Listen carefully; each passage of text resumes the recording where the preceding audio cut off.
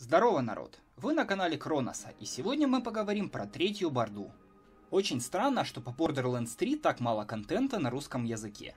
Игра уже вот-вот выйдет, мы знаем сюжетный замес, всех искателей хранилища, целую кучу новой информации, а всем как будто пофигу.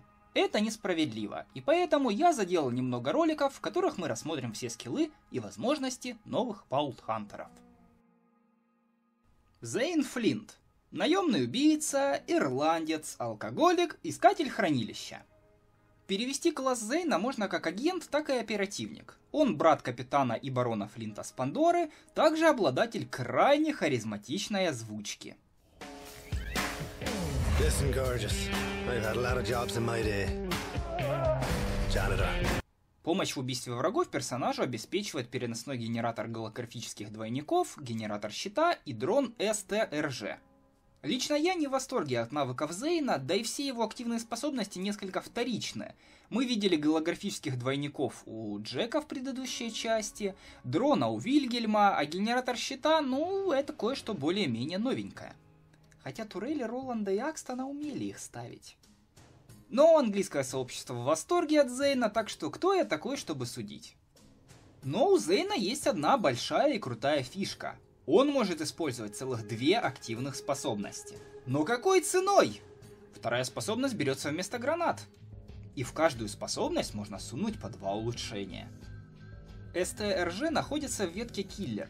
Этот мелкий робот будет летать неподалеку от Зейна и стрелять по врагам из пулемета. Если играли за Вильгельма в пресиквеле, то все в принципе будет понятно. Эта ветка сосредоточена на навыках убийства целиком и полностью. Возможно вам нравятся щиты, Тогда качайте навыки под прикрытием. Тут есть генератор щита как активная способность, улучшение выживаемости и, как ни странно, ледяной урон. Генератор блочит выстрелы врагов, а союзные пули разгоняет, за счет чего те наносят на четверть урона больше. Но возможно вам просто хочется побольше гаджетов. Или напротив, вы не хотите отдавать вместо них гранаты, а планируете постоянно взрывать врагов. Или может быть вы хотите напарника для соло-игры? Тогда качайтесь через ветку двойной агент, и ее голодвойник будет к вашим услугам. Начнем с ветки киллер и улучшений СТРЖ. Дальше я буду называть СТРЖ либо стражем, либо дроном. Второй тир открывает доступ к зимнему дрону. Это снизит его урон на 20%, но пули станут ледяными.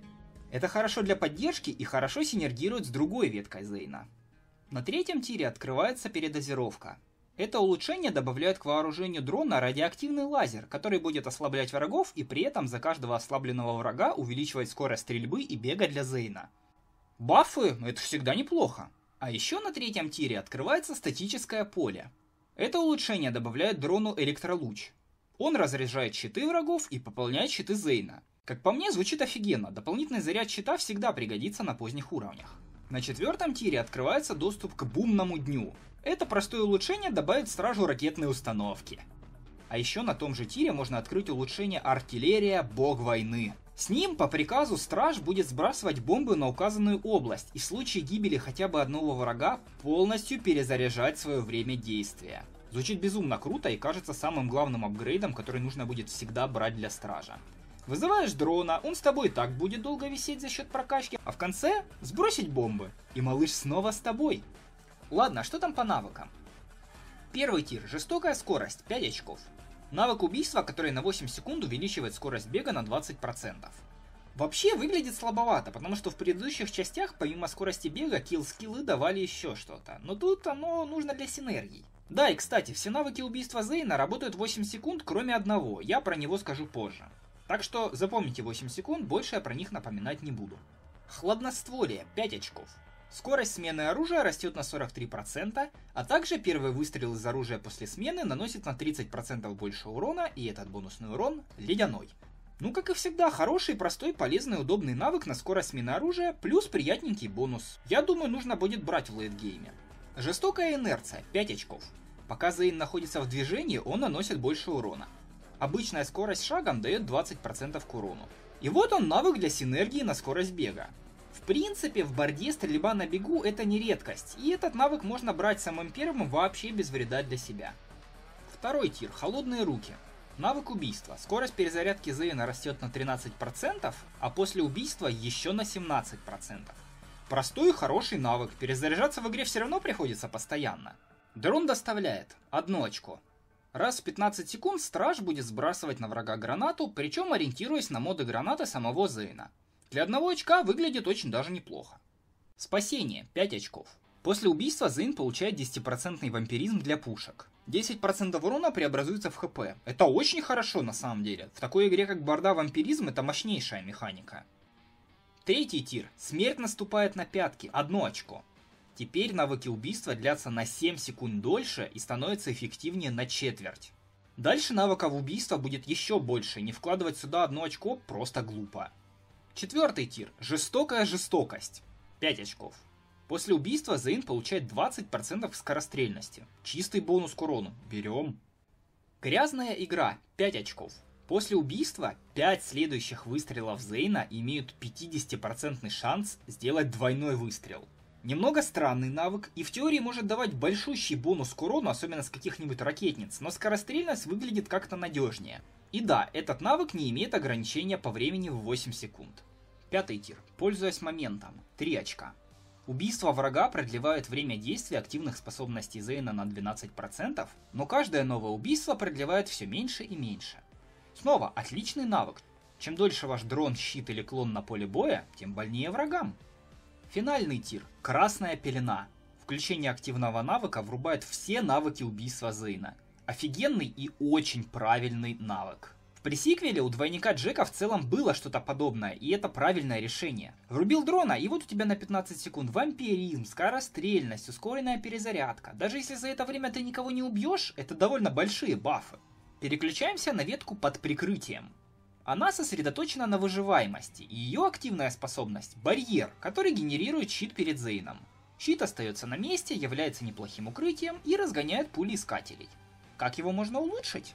Второй тир – заряженное реле. С этим улучшением барьер будет на 11% ускорять движение и на 20% перезарядку союзников. Эффект длится 8 секунд, если убежать от щита. Неплохой апгрейд, но не слишком внушительный. Третий тир – наномашины или ЯХЗ с этим апгрейдом барьер понижает на треть время до зарядки щитов игрока, ускоряет перезарядку на 11% и дает регенерацию здоровья, вплоть до 4%, если хп на нуле. Это улучшение куда больше сосредоточено на защите, и мне нравится чуть больше. Щиты же должны защищать, верно? А еще на третьем тире открываются улучшения со всех сторон. Теперь барьер перезаряжается на 20% дольше, но при этом становится куполом. Опять же, отличный апгрейд, если нужно посреди поля соорудить аналог бункера. Четвертый тир – расплата. Когда барьер получает урон, искатели хранилища наносят на 10% урона больше, но только пока стоят рядом с ним. Честно говоря, для таланта, который открывается так поздно, это немного слабо. Да, это может бафнуть до 4 игроков, но 10% это не слишком много, да и работает это только возле барьера. Сдерживающие поля. Теперь барьер лупит током тех, кто подошел к нему. Отличное улучшение. Очень поможет против всяких скагов, которые будут пытаться откусить вам лицо. Ну и что там по навыкам? Первый тир. Адреналин. 5 очков. Ускоряет перезарядку активных навыков Зейна. Чем полнее его щит, тем выше скорость, вплоть до 35%. Это дофигища, но в бою щит будет скорее всего неполным. Впрочем, даже так талант выглядит довольно неплохо. Запас прочности 3 очка. Просто 30% к прочности щита. Много нужно Собираем. К бою готов. 5 очков. Щит перезаряжается на 30% быстрее, а время его зарядки сокращается на 29%. В принципе неплохо, но многовато очков нужно вложить, как мне кажется. В целом можно пройти мимо. Второй тир. Заморозка мозга. 5 очков. Каждый крит Зейна имеет 20% шанс замедлить врага. Эффект складывается, при этом врага можно заморозить. Выглядит перспективно. Морозить врага обычными пушками, пусть и не со стопроцентной вероятностью, пусть только через криты, это все равно очень круто. Закусив губу, 3 очка. После получения урона, Зейн получает 16% сопротивления к этому виду урона. Вас жгут, вы сопротивляетесь огню, морозят льду, за 3 очка отличный бонус, а еще он усилится в дальнейшем. Держа марку, 5 очков. Зейн регенерирует здоровье. Чем меньше щита, тем больше регенерации, вплоть до 5% при нуле щитов. Офигенный навык. Щиты пустые, пошел урон по здоровью, но мы же его регеним. Брать, брать еще раз брать. Третий тир. Самоуверенность в компетенции. Одно очко. Чем полнее щит Зейна, тем точнее его пушки вплоть до 33%, и тем больнее не стреляют, до 20%. Знаете что? Я устану говорить, что все таланты в одно очко надо брать. Это по умолчанию, правда. Буду говорить только про исключения. Треть к точности, конечно, хватаем. Четвертый тир. Ну, очень дорогая куртка. Одно очко. Любые дот-эффекты действуют на Зейна вдвое меньше. Горение, обморожение, плавление, шок, лучевая болезнь. Прощайте.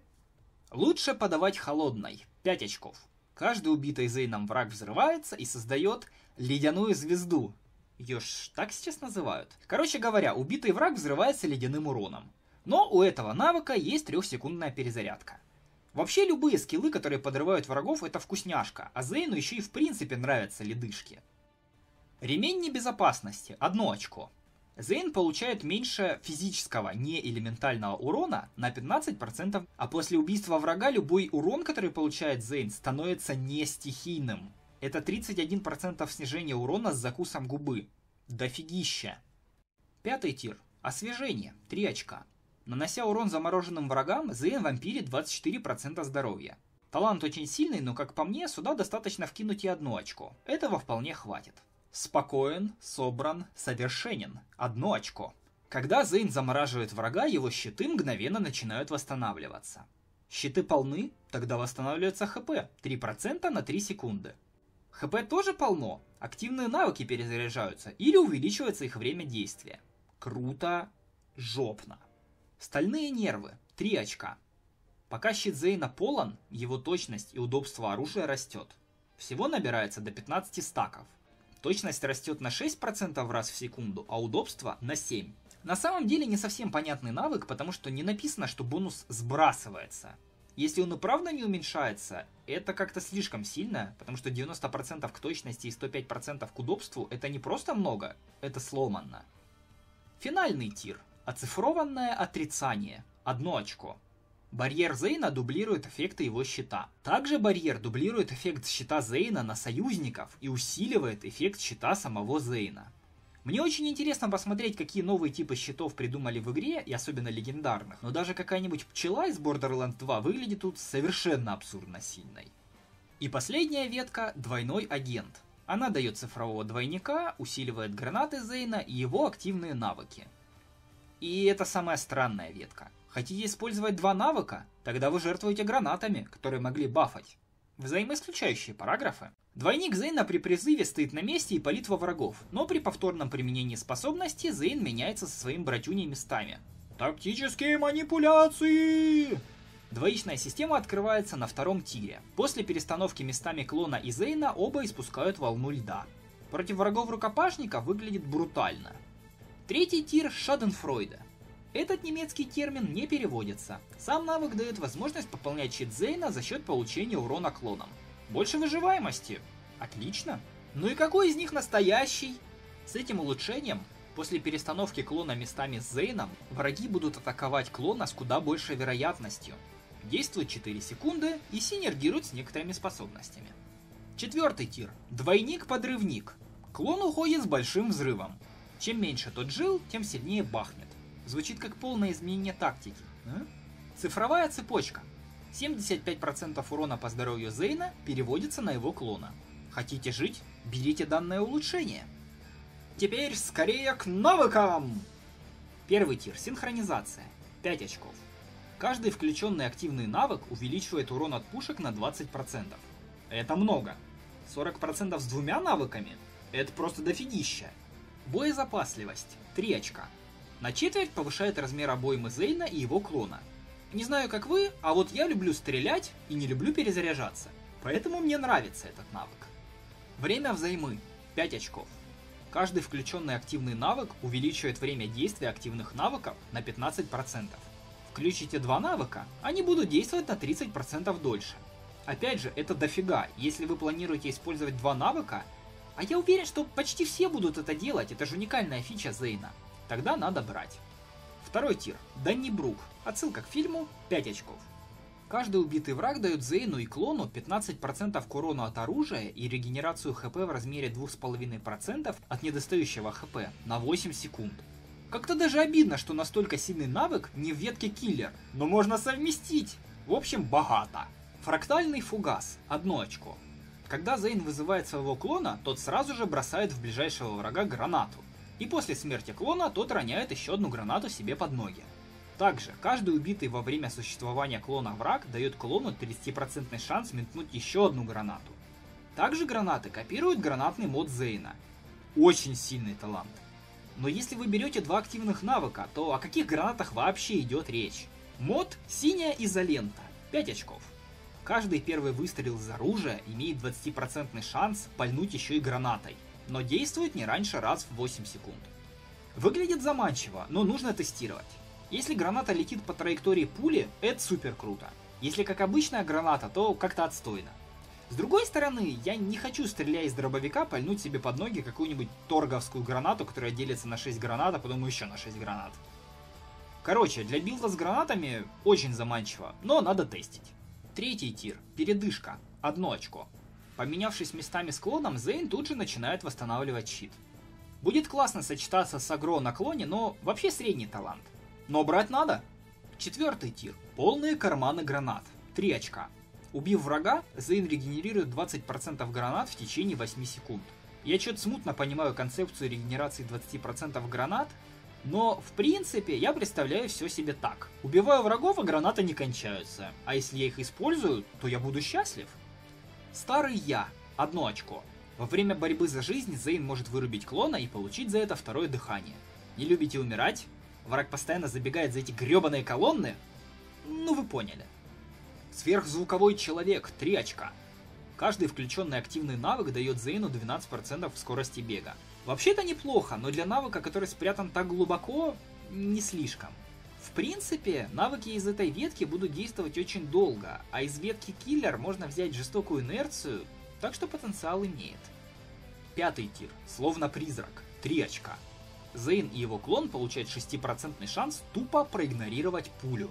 Также на 8 секунд этот шанс повышается на 9% при включении активного навыка. Итого это до 24%. А ведь еще есть шанс, что щиты Владов также повышают этот шанс. Очень круто, но огнеметы, клыки и любые не пули не будут поглощаться, так что не супер круто. Бум. Усиление. Одно очко. Вызывая клона, Зейн тут же скармливает ему вплоть до трех гранат. Каждая съеденная клоном граната увеличивает ему урон, скорость перезарядки, здоровье, скорострельность и время действия. А в этой ветке мы очень любим, чтобы навыки действовали как можно дольше. Если собираетесь брать два активных навыка и кормить клона гранатами, получим супероружие. Дым и зеркала. 3 очка. Зейн наносит 18% бонусного урона в виде урона от шока, если стреляют не по нему. Берите, если играете в пати, или если вы всегда отдаете клона врагам на растерзание. Но, честно говоря, бонус к урону не слишком безумный. А с другой стороны, это всего лишь 3 очка. Финальный тир. Два ствола. При включении клона тот получает копию ствола Зейна, который тот держал на момент призыва. Поменявшись местами с клоном, Зейн и его братюня получают бонус к урону в размере 20%. Я думаю, вам не стоит пояснять, насколько сломанные пушки могут существовать в борде. На этом все. Мне лично Зейн не очень нравится. Я как бы люблю кидаться гранатами, да его ветки со скиллами меня не слишком вдохновляют. Ну блин, какой у него прикольный голос. Надеюсь, при первом прохождении в пати моим напарником будет именно ирландец Пандоры. Следующая на очереди индийская сирена с восемью руками. Что ж, народ, надеюсь, вам понравилось это небольшое видео. Если это так, ставьте лайки, оставляйте комментарии. Если это не так, ставьте дизлайки, оставляйте комментарии. В любом случае, можете подписываться на меня в социальных сетях. Буду я этому довольно рад. Удачи вам, встретимся на Пандоре. Надеюсь.